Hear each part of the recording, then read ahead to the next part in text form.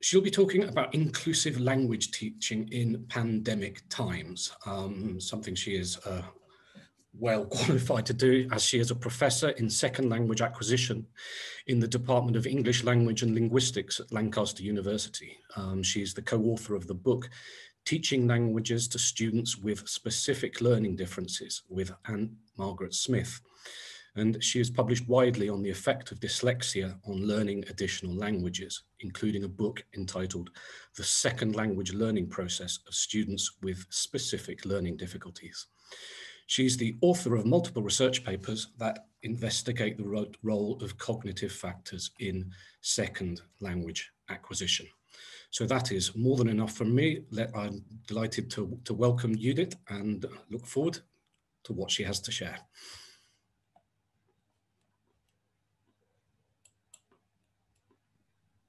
Welcome everybody, and it's really great to see uh, all of you. Let me see why why doesn't the, the PowerPoint load? It did load. Um, well, what, what's happening here? Uh, a moment, sorry, that's technology. Um, right, okay, it's working. So uh, it's absolutely fantastic to be invited to the Global Schools Festival and um, and it's always such a great opportunity to meet so many people from all over the the world. And um, and I'm really excited to be talking to you about inclusive language teaching during pandemic times. And these are challenging times um, for everybody all over the world. Maybe there are a few fortunate of you who are not so much affected by the virus but uh, I think most of the world is. And um, the life of students with specific learning difficulties so, and students with disabilities um, is particularly hard um, during this period because they do have challenges um, in their learning um, in typical classrooms, even in less stressful times. And the pandemic has probably aggravated those challenges and difficulties. And, and they are often kind of forgotten because we are just so busy uh, with managing online learning and, and making whatever uh, possibilities um, are available for these students um, uh, uh, possible and, and, and, and making the best of, of online teaching. But, but I think we shouldn't forget about these students and, and we should try to, to assist them um, so that they don't fall behind. Um, in this talk, I'm going what, the, what these specific learning difficulties are so that you understand uh, what uh, type of learners uh, I am discussing and, and you see what kind of challenges these students who constitute 10% of our student population, no matter where we live, if you have 10 students, one of them is likely to have uh, some kind of learning challenge. And what, what, do, what kind of um, effects uh, do these learning challenges have on the cognitive, emotional, and social aspects of language, learnings, language learning are important to understand so that we can effectively help these students in uh, acquiring another language. Um, once I have um, done that, I'm going to discuss the advantages and disadvantages of online learning um, and pandemic in person classroom for students with specific learning difficulties. What are the challenges in these two contexts and what are some of the affordances of these contexts that we could exploit? And then finally, I think something that you are all very interested in, how can we support these students in pandemic times so that they achieve the best of their potential? So what type of specific learning difficulties are there? Um, the classification of specific learning difficulties does differ country by country or region by region, but most often the most important types of specific learning difficulties are related to dyslexia, uh, which in the very narrow sense of the word means word level reading problems and, and reading comprehension problems. In some countries, dyslexia encompasses um, reading difficulties as they are, uh, but as you will see, um, read, dyslexia doesn't just affect uh, reading. Um, but and it also has a very significant impact on language learning. There is this calc uh, which is to do with, with numbers. It, if it occurs alone, it has less impact on language learning. It is mostly when you need to consider it when you teach numbers to the students or if you teach mathematics through, through English. Um, some uh, other specific learning difficulties include dyspraxia, which is a problem with fine and gross motor coordination and it's in some countries it's overlapping with dysgraphia which uh, um, causes uh, problems in handwriting spelling and writing. In some um, contexts attention deficit and hyperactivity disorder is also considered to be a specific learning difficulty. Um, and and in some other countries um, autism spectrum disorder are also classified under specific learning difficulties. In the psychological literature it's only dyslexia dyscalculia and dyspraxia dysgraphia which are part of specific learning difficulties, but I think it's important to consider these together. Um, the, these specific learning difficulties, of course, vary in their severity and they also overlap with each other, which means that students with specific learning difficulties vary quite a lot. Some of them are very successful language learners and just have mild um, manifestations of, uh, of specific learning difficulties, and some have really uh, serious um, problems and, and their problems are wide ranging. Uh, in order to understand um, how specific learning difficulties affect language learning and learning in general, it's important to know what causes uh, specific uh, learning difficulties. One of them is um, phonological processing problems. And this is mainly the cause of reading related challenges. Students with specific learning difficulties have um, um, uh, problems, uh, challenges in perceiving how sounds work in a language. Uh, what is the distinction between certain sounds? How do sounds relate to, uh, to letters? How can we manipulate uh, sounds? These are areas that they tend to fall behind other students. Students with specific learning difficulties also tend to have a shorter uh, working memory span. That's the number of information you can hold in mind before it's transferred into long-term memory. Everything passes through short-term or working memory when you are trying to learn something new. And our working memory has a limited capacity. For most people, it's between seven and nine units of information. But for students with specific learning difficulties, this can go down to four to five. And that can cause problems in vocabulary learning, remembering information, remembering longer instructions, etc. Um, students with specific learning difficulties also tend to process information somewhat more slowly. And that causes issues because if you have a large classroom and you need to, um, uh, you need to follow a curriculum, then the, their pace of learning is going to be slower and you need to try to cater for, for their slower speed. Um, and then another area is executive functions, um, which uh, mainly if you want to understand them in, in plain terms, it's problems with regulating and directing your attention. Uh, students uh, tend to struggle with paying attention uh, for a long time and focusing their attention on one issue. Um, other problems um, can, um, can be related to visual memory. Some students don't have really good visual memory, some do, and, and also motor coordination. So how you coordinate your, your hand and, and fine uh, motor movements. And of course, if you're learning how to write or, uh, um, or how to um, do different smaller activities that can be um, a problem. So what impact um, does this have on second language learning? Obviously, one of the key uh, difficulties that are related to dyslexia, which is one of the most uh, frequently um, diagnosed and known uh, type of specific learning difficulty is reading. Students are slower readers in their first language and often in their second language as well and they are less accurate readers as well. They misread words, they may not understand the text entirely, etc. Then remembering information through listening because their working memory capacity is smaller. Writing because it requires spelling um, and also it requires coordination of attention, um, commitment, um, and, and organizing your ideas uh, in a coherent framework. And you can also um, observe that issue in speaking. Student might not be able to organize a longer speech coherently because their attention wanders away. And also because they can't really pay attention to accuracy and speaking fluently and, and conveying the content at the same time. And difficulties also um, uh, relate to vocabulary learning. For these students, remembering and learning new vocabulary can be a real challenge. Um, and there are also effective aspects of, uh, of second language, of uh, specific learning difficulties. One of them um, is related to, uh, to empathy for students with uh, autistic uh, spectrum disorder. Um, they, they might find it challenging to put themselves into the shoes of other, pers of other people and, and feel empathy in, in certain situations. Um, specific learning difficulties also cause anxiety in the students because they know they are not performing at the level of their cognitive abilities, at the level other students are doing, and that causes anxiety.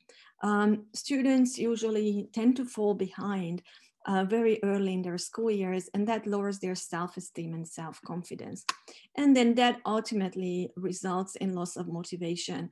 And, and that's when we, we tend to lose these students because um, um, they, they are not willing to invest the energy they, they need to in language learning, and they would need to invest extra energy anyway. So that's when, when they really fall behind and, and maybe they stop learning languages or, or, or they fail. There are also social aspects of specific language, um, of specific learning difficulties. One of these relates to social communication. That's particularly true for students with autistic spectrum uh, disorder. They tend to find uh, social interactions particularly challenging. We humans are unpredictable.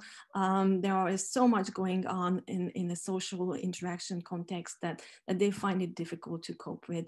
They, they also find it challenging to take the perspective of the, the other person and, and that can cause problems, for example, in, in group work, collaboration, and, and cooperation. And, um, and students with, uh, with uh, attention deficit and hyperactivity disorder, they, they um, do struggle with following rules and, and, and, and norms. And these are, again, all important to understand if we want to help students in, um, in becoming successful in these challenging times. And of course, we shouldn't forget that there are uh, strengths related to specific learning difficulties. And I have just collected some of them. Um, many of these students are really great uh, thinkers holistically. Um, they can see through issues. They, they are very creative. They have original ideas. They have a really good spatial knowledge. You find a lot of uh, architects who have dyslexia um, because they can see the space um, in a very novel and uh, way. Uh, they are they have good problem solving skills and they also have peripheral vision. They they notice things at the periphery um, that people normally wouldn't. So these are again skills that you might want to build on in group projects, for example. So let us uh, move over to um, some of the advantages of online learning for students with specific learning difficulties. When um, move to online learning happened in, in many contexts in emergency situations. Um, there were some advantageous features of, of, of this, um, this change for these students. Often because there was more flexibility with timing and tasks. Um, it wasn't that you had to sit in the classroom. Tasks were given over a longer period. Uh, some, you know, not all the sessions were held. You, you had more flexibility uh, with, with the work. Uh, more if online uh, learning was taking place where students do have good access to technology, they had more assistive tools available for them. They could use spell checkers, they could use text-to-speech software um, that, that, uh, that helped them. And, and also very often the movement um, that there was more project-based learning. Teachers um, moved over from some more traditional forms of assessment, for example. Uh, you can't really do a timed multiple choice test, um, or you can, but, but you know that the teach students will have the book open in front of them. So testing the kind of factual knowledge of students um, has been delegated to the background and teachers tended to use more, port more, more portfolio project type based tasks and assessment. And, and also for students who have Asperger's syndrome or autistic spectrum disorder, there were fewer demands on complex social interaction skills because the, everybody was sitting at home. And of course, there is social interaction going on in this online environment, but it is less complex uh, in some ways than, than the busy uh, classroom where 20 students are talking at the same time. There are groups of students together, etc. Um, there are, of course, also disadvantages of online learning. Uh, one, and, and, and some of the advantages that I mentioned can actually do, can also be seen as disadvantages or turn into disadvantages. And with the, with the flexibility, um, there comes a less structured learning environment where um, where the students' day is less less structured. Um, they may not get up. They might still be in their pajamas, and and and they have to keep in mind all the different type of uh, submission deadlines, etc there is lower level of teacher control. The teacher is there maybe at the behind the screen, um, but but for, for projects, etc., that the students would be in the classroom and now they have to do kind of outside the classroom. There is lot, a lot less teacher control. So it all requires a higher level autonomy and, and, and self-regulation from, from the students. They are left to their own devices um, to, to do these tasks. There is also long screen time um, that students have to uh, spend in front of the computer, which is tiring. And, and those of you who have taught Zoom sessions, I find them almost twice as tiring as real life classrooms. Um, and there are also fewer social clues on screen. You only see people up to their necks and uh, I'm trying to gesture with my hands, but often people actually hide their hands. So there is just less uh, social clues, which actually might be difficult for students to, to read. Um, and we need to bear this in mind when um, when people so when when we were planning this session um, we were thinking oh students would be back in their classrooms and in some countries they are still back in their classrooms um, and in some countries they are studying at home again. Um, but let's think about uh, the pandemic face-to-face -face classroom which is not exactly the same classroom as as uh, we had before the pandemic. There is there is anxiety related to um, to, to the virus, to, the, to its effect on the family, but, but the, whole, the whole atmosphere in, in the school is much less relaxed than it, than it used to be. There are new rules, hygienic rules, which are very difficult to, to follow for younger kids. They need to keep um, distance. And, and even at the university level, when I was teaching face-to-face at the University of Vienna, we had a one meter distance. When I asked students to work in pairs, they immediately moved closer to each other. And I had to say, sorry, you have to keep the distance. Uh, and you can imagine how difficult that is for younger kids. Um, in being to students, uh, also some of the students with specific learning difficulties, they got used to the assistive tools and the online tasks that they had to do, and, and they, they found them useful and, and may, they may not have access to them anymore in the, the actual classroom. So there is no spell checker when you have to handwrite a, an, an essay, or there is no uh, speech to text software when you have to read a, a short story. And many, we shouldn't forget, most importantly, that many of the students might have fallen behind in, in the uh, pre, uh, uh, pre uh, face-to-face phase of the pandemic because of the challenges that they uh, experienced. Um, they, they were less able to, to study on their own. Nobody was looking over their shoulders. So they probably have fallen behind their, their peers. Um, so uh, what can we do to support students in online contexts? Um, first of all, um, and maybe it's not that relevant anymore because uh, you have already settled on your online platforms. Uh, but if you haven't, then you really need to explain how the various pla online platforms work. And you might assume that students are digitally savvy um, and would figure it out. In my experience, even university students were struggling with certain certain features in, in Zoom, etc. Um, and, and, and especially if, if your school uses multiple platforms, um, then that can be quite challenging. Um, it's, I think it's also very important to dedicate special tasks, online forums, hold online uh, discussions regularly, not just once or twice, on how to learn at home. Um, students do benefit from, from this advice in these sessions and you can see the impact. Um, there are so many tips you can to, uh, give to students how to organize their, their home environment if that's possible, how to structure their, their day, how to keep uh, track of deadlines, and that they need constant reminders about this. Um, again, assistive devices, there are a lot of online assistive uh, devices that students can use to help them um, with, uh, with transforming, for example, written text into speech. And now many speech recognition software uh, types are really, really good and they are free of charge. They can cope even with, with accented uh, speech. Uh, there's speech recognition software in almost every language. Um, and and you, you need to teach the students how to use this because again, even though they are technologically savvy, they may not um, be able know uh, how to use them. Um, there, I think it's also useful to have one-to-one -one meetings, like a checkup session with students who know who have specific learning difficulties or small group meetings with them to check on how they are doing particularly and what support they need. Um, and, and of course, if you have a large classroom or if that's not possible, then you can um, designate some peer mentors. You can pair up the students and, and, and ask uh, their peer to check up on them and then report back to you or, or have someone who helped them with their projects, with their classwork uh, maybe like a body when they, they discuss, okay, we're both going to sit down together in front of the computer and we'll do this project together, a bit like a digital online writing retreat that I have been doing with my colleagues, just having committed the time and knowing that somebody is sitting there with you um, and doing the same thing, that, that helps.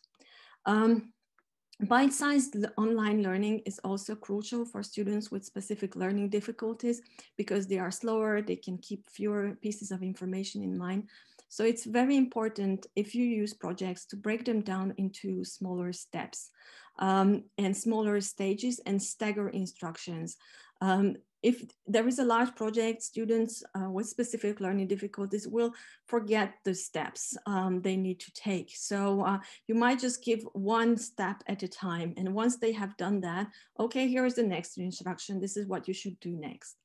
Um, it's also um, useful to try to adjust tasks to the student's attention span. So if you deliver synchronous sessions, um, may break up the, the session into parts when um, the teacher talking time is, uh, um, um, is, is, broken by certain activities that the students uh, can do. Um, this can be periods of physical activity when students get up from their desk and, and, and go and get something and then show it to, uh, to their cl uh, classmates or do some physical exercise um, or, or do an, an online um, game um, or, or a, a, Kahoot or, or, or, or, Quizlet or whatever activity um, that, um, that breaks up the longer session. Uh, when uh, students have to work on their own, you can also teach them the, the Pomodoro technique, which is um, you break up the task and you say, okay, I'm just going to focus on, on one phase of this task, um, reading or writing something for 10 minutes. I set the timer. So the timer is the kitchen timer, the, the tomato um, that we often use for cooking. And when those 10, 10, minutes are over, you can reward yourself with a five minute break or a, or a hot chocolate or whatever. And then again, you return for another 10 minutes you have a five minute break again, and then you can increase the period from 10 to 15 minutes and always give yourself a break and some reward. And there's a really nice app um, called uh, Plenty app, which uh, actually does, gives you the reward. And every time you have, uh, um, you can set it on your computer. And every time you manage not to check your phone and other websites, then you get a little plant. And then um, if you have been doing long enough, you will have a, a, digital garden with plants. So I think that's a nice one for, for smaller kids, but even teenagers like it, like that. Um, accessibility of online learning materials is again crucial. Uh, it's important to use multiple modes of presentation if possible. Um, so if you present information to your students, try to do it in, uh, in auditory as well as in written format or video or, or pictures. Um, and, and, and use visual support to the students so that uh, they don't have to read so much. Very often when we teach online, we give students kind of long written instructions. This is the instruction for the project, um, do it. Um, if you do give uh, written instruction in such a long format, make sure, for example, that you use a file format, which is easy to convert into um, accessible uh, speech. For example, a Word doc, a Microsoft Word can do it very easily and it can be read out for the student. If you give it in a PDF, they, it won't be easy to, to read out. Um, think about allowing students alternative response formats. Um, of course, it depends again on the curricular uh, requirements, but if possible, think about whether the student can actually give a narrated PowerPoint presentation instead of a written essay, or whether they can do a, a video um, where, where they speak in, instead of uh, some written task, or they use both uh, spoken language as well as, as writing. Um, and, and also, if possible, give the students the choice and options in tasks, how they want to complete them. Uh, some students might prefer uh, writing, some might prefer uh, speaking, some might prefer visual illustrations. And, and, and, and if you have the option to, to give the students a choice, think about it because students can really uh, perform to their best abilities if they are given these opportunities. Um, some other tips for supporting online learning. Um, I would really strongly recommend that you can harness students' strengths uh, with project-based, multimedia and portfolio-based assessments. You saw the kind of um, strengths the students with specific learning difficulties have, and they, they can really play a crucial part in these uh, group projects um, as creators, as, as holistic thinkers, etc. Um, I have already mentioned it, um, but I think it's important to vary plenary work with breakout rooms or some offline work in synchronous sessions and using interactive tools during synchronous sessions such as Kahoot, Mentimeter, uh, polls, Padlet Wall, online quizzes are again um, uh, tools that help everyone, but students with specific learning difficulties particularly appreciated because of their shorter attention span. Um, what can we do in in-person um, classes? Um, first of all, once students have returned from online learning, it's really important to have an assessment of their progress and achievement during this period to see who has fallen behind and who are the students who need uh, help. Um, and then we can actually try to support these students with one-to-one -one sessions or some extra tasks that they, they, can, they can do. Um, um, after after they have returned from from an online um, uh, learning environment. Um, if you have just returned from from um, the online to the face to face, it's important to explain and agree on the new classroom rules jointly and set up like a charter and and explain to the students why certain things are necessary. Um, that's really um, essential that the students agree to those rules and internalize them because if they feel this is kind of externally forced on them, they will be less likely to follow them.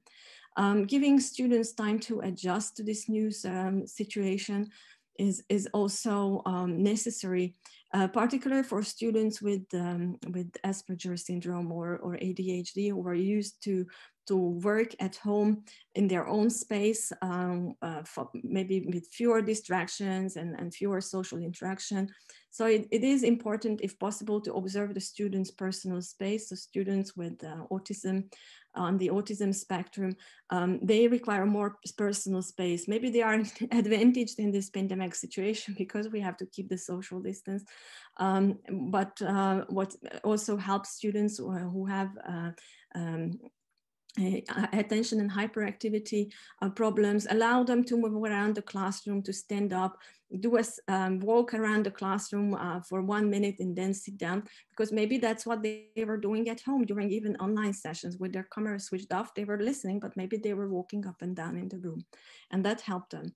Um, and also think about how you can maintain um, the flexibility of online learning that the students enjoy.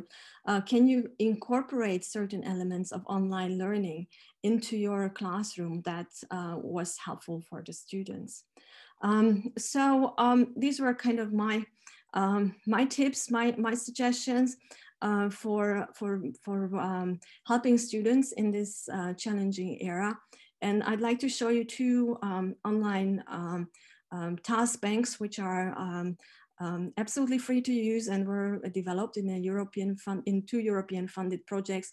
One is a digital task bank for um, uh, students in between the fourth and eighth class. So that's students aged between 10 and, and 14.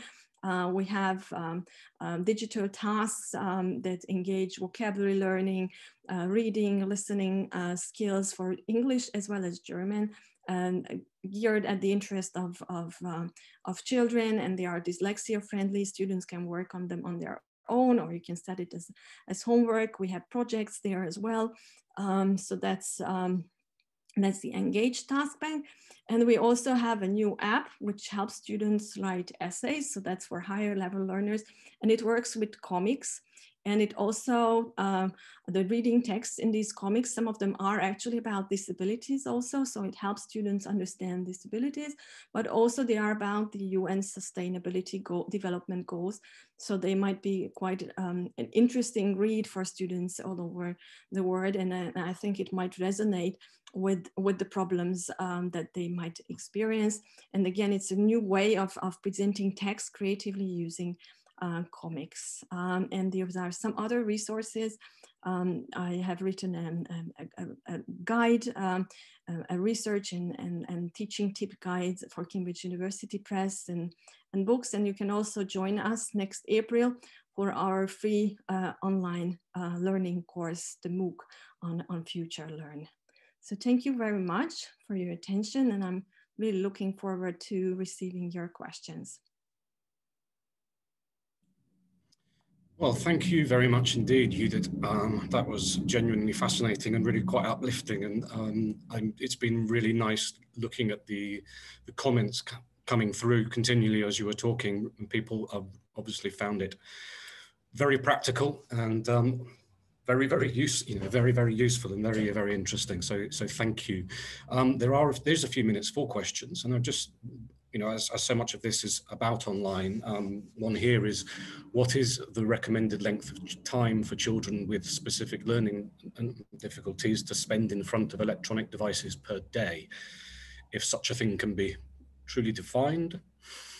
Well, I don't think that can be defined, and again, that depends on on, um, on the social context and the parental norms. Uh, in terms of uh, education, I mean, it's uh, I think having like four, it, again, it depends on age and, and the curricular requirements. What, what, what is important for students with specific learning difficulties that like having a session like this, um, when the teacher is talking for 30 minutes uh, to the screen, it's terribly challenging for them. So if I were to do this uh, with specific students with specific learning difficulties, I would stop after talking five or seven minutes, give them a task, and then uh, having them listen to me again um, after five or seven minutes.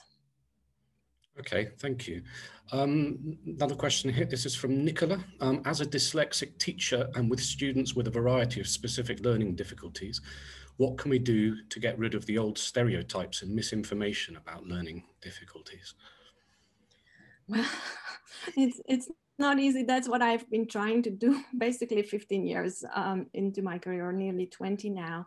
There are so many misconceptions and, um, and, and, I'm constantly writing about them and, and I'm, I'm a member of a Hungarian Facebook group with, for dyslexic parents. And, and, and I'm, I'm sharing comments about, for example, when, when people post about corrective glasses, um, which, which doesn't have any scientific evidence. And it's just trying to get money out of parents of dyslexic students. And, and, and, and I'm fight, trying to fight against them. But I think the important, um, what you can do as a teacher is to be well informed um, of, of research which is accessible and I have um, produced such uh, guides for, for Cambridge University Press. We are actually including introductions to course books uh, on specific learning difficulties for the uh, Italian market and for new revisions of, of Cambridge course books are going to in, in include such information for teachers. And I think uh, if you are well informed about latest research um, on, on this topic, then, then you can have the authority to fight back against these misconceptions. And I know it's an uphill struggle um, and, and it's not easy, but, um, but I think if teachers are well informed, they can stand up for, for representing uh, more accurate information about specific learning difficulties. Thank you for the question. That's a great question. Um, we have a question here from Laura Ferroglio. I hope I've said that right. Um, how can institutions which rely heavily on summative assessment, for example, as was mentioned, multiple choice time tests, be encouraged to implement more formative assessment to promote inclusion? Well, I, I think, um, I mean, again, um, just getting back to, to your course books and new projects for the Italian market, uh, we are in the process of developing these dyslexia-friendly test booklets for, for students uh, so that there is a lot you can do even in the format, in the summative assessment to make it uh, dyslexia-friendly, giving time extension, making sure the instructions are clear, etc. And, and, and again, I think it's, it's, um, it's advocacy from the from the teachers part uh, trying to communicate it to to um, to higher level educational stakeholders uh, and and and and also it's it's teach it's it's the teacher's own practice uh, that that unless you are mandated and and you need certain types of summative assessment you should include more more formative uh, assessment. And that benefits everybody not just uh, students with specific learning difficulties. Okay Thank you. Um, and uh, just check the clock, we still have some time. Um, a question from Jara Recio. First, I'd like to express my gratitude for giving a space to talk about this topic. Um, and could you please give your opinion about the debate about medical versus social model of disability? Well, I'm more for the social model. And if you were trying to, to you know, listen to me, I mean, I'm talking about specific learning difficulties or differences. And some people talk about neurodiversity. I didn't really use that term, but but I'm more for the social view of um, of, of, disabilities, and and it's important because that underpins the idea of inclusion, that uh, we need to make adjustments as education educators, educational institutions to meet the variety of needs of students, and and there is a kind of a general kind of in every population there is there is a variety. And and some people even question that specific learning difficulties exist because cognitive abilities are, are, are distributed in, in, in a, on a scale. And, and in every scale that you assess people will there will be people who belong to the 10% who are doing um, less well on, on that assessment. And and it's probably just part of the typical variation that we see in, in any population um, but, but of course, if we do away with the term specific learning difficulties, that has important educational implications because then they won't have access to certain support systems, etc. Um, so I'm not advocating that we shouldn't use that term at all because, because of certain reasons for educational policy but uh, I'm, I'm more, I'm definitely not for the medical view. I don't think these are um, medical, they, they are the, the, the, concern of medical professionals. Uh, it's, it's an educational issue. Of course, for the diagnosis and assessment, you might need specialists, but they should be psychologists or very well-trained teachers, special education teachers who can, who can assess, but definitely not medical. Okay. And I think we've probably got time for one more. Um, there's a question here about how, how, how can we help increase students' working memory? Well, that's not an easy question because, um, to be honest, at the moment, there is no kind of definitive scientific evidence that you can actually increase working memory with training. So if you want to help students, you should better teach them learning strategies to remember information rather than train their working memory per se, because there, there is some effect of working memory training, but it doesn't really transfer to other tasks. So um, teaching students strategies, how to remember things, how to connect it to visual images, sounds, uh, colors, uh, similar sounding words, etc., is a much better strategy than, than spending time on, on, on training their working memory, which is actually very boring, those working memory training um, sessions. So uh, yeah, that's my, my advice. Okay. Um, uh, there is now, there's still, I think, time for, for just one more. Um, and uh, Alim Mazek asks, can any teacher teach pupils with specific difficulties? Quick answer, yes. Yes, um, and I, I, that's that's a question I get very often in Future Learn on other courses. I think teachers with uh, who have a couple of years of teaching experience, they have an intuitive knowledge of knowing what to do to help these students. And, and very often I find that when I give these talks, some people think, oh, I'm doing that anyway. So all you need is a bit of a reinforcement that yes, that's what the experts also say you should be mm-hmm. doing. And of course, knowing more about specific learning difficulties, learning more in, in, in training courses, etc., is, is of course very, very helpful and supports your teaching. But, but I think anyone can do that. It's just you have to understand what the specific learning difficulties are and, and you have to think about what benefits every student and and then based on that i'm sure that what benefits every student is going to be helpful for students with specific learning difficulties okay well thank you so much Judith. that was genuinely fascinating as i say uh, i say thank you on behalf of Cambridge University Press and also on behalf of all the the many hundreds of people who were, were listening in. Uh, as I say, the comments have been been great. Um, just something, just taking one here, random. Thanks so much for a very informative and inspiring talk. And they're all along those lines. So uh, thank you again, Judith, and uh, thank, thank, thanks for thanks for thanks for all the information and being here with us today. Uh, thank you, everyone. Thank you, all the more than 500 people who joined, and really feel humbled by that number. Okay, thank you very much. Right. Bye-bye. Bye.